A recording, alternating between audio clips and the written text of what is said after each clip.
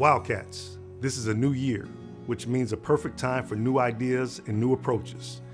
Therefore, we wanted to expand the reach of this monthly communication to our nearly 500 student athletes who will now receive this video as well as its accompanying newsletter. Recording these videos is a rewarding experience for me. It allows me to stay connected and provide regular updates to our entire Newdar community, and it also creates an opportunity to receive insightful feedback that helps inform how we will continue to serve you. As always, I am very proud of our Wildcat student athletes. Our men's basketball team continues to excel with great conference wins over Purdue, Michigan State, Maryland, and others.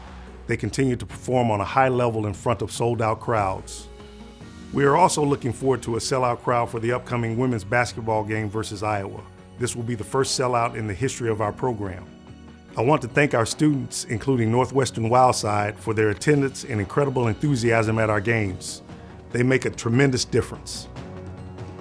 Congrats again to our softball Wildcats, who my family celebrated with recently at our home for their sweep of both Big Ten titles this past season.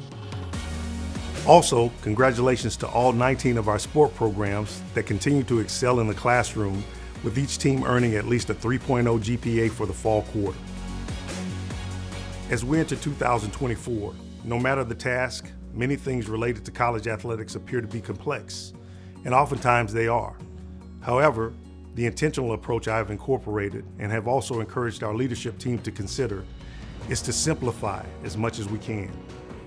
This approach will be important as we continue to administer many important projects, such as the upcoming rebuild of Ryan Field, working on building a world-class venue for our championship softball program, and continuing to emphasize our strategic plan, RISE Northwestern, in all aspects of our athletics department.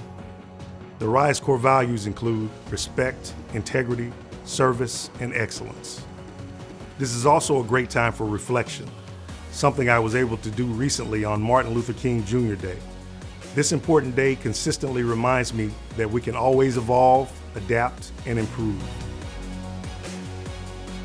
This new year provides the opportunity to write a new chapter in both your own story and the story of Northwestern Athletics. Let's make 2024 our best year yet. God bless and go Cats.